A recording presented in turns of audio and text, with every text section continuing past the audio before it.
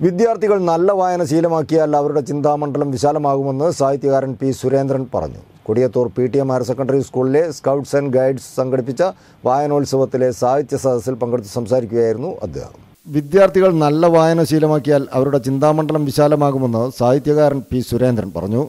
കലയ്ക്കും സാഹിത്യത്തിനും അതിർവരമ്പുകളില്ലെന്നും അതുകൊണ്ട് തന്നെ സാഹിത്യത്തോടുള്ള അഭിനിവേശം വിശ്വമാനവിക കാഴ്ചപ്പാടിനെ രൂപപ്പെടുത്തുമെന്നും അദ്ദേഹം കൂട്ടിച്ചേർത്തു. Kodiyathur P T M higher secondary സ്കൂളിലെ സ്കൗട്ട്സ് ആൻഡ് ഗൈഡ്സ് സംഘടിപ്പിച്ച വായനോത്സവത്തിലെ സാഹിത്യ സദസ്സിൽ സംസാരിക്കുകയായിരുന്നു അദ്ദേഹം.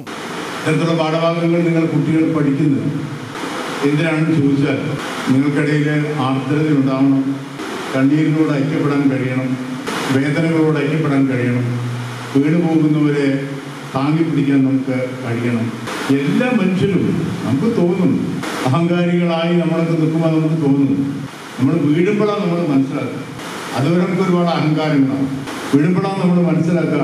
താങ്ങാൻ ആരെങ്കിലും ഒന്നും ഉണ്ടായിരുന്നെങ്കിൽ എന്ന് വീഴുമ്പോൾ നമ്മൾ മനസ്സിലാക്കുക. എട്ടാം തരത്തിലെ അമ്മമ്മ എന്ന പാഠഭാഗത്തിന്റെ രചയിതാവായ പി സുരേന്ദ്രനുമായി സംവദിക്കാനായത് എട്ടാം തരം വിദ്യാർത്ഥികൾക്ക് നവ്യാനുഭവമായി. ചടങ്ങിൽ scout and guides magazine P Surendran പ്രകാശനം ചെയ്തു.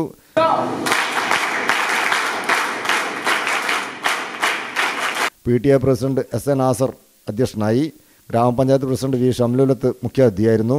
Headmaster G Sudheer P T A vice president C Fazal Babu P S Sujaprabha K K Abdul Gafoor P T Nasar K Nasheeda P Raji നിസാങ്കാരശ്ശേരി T Shuhaira തുടങ്ങിയവർ ചടങ്ങിൽ സംബന്ധിച്ചു.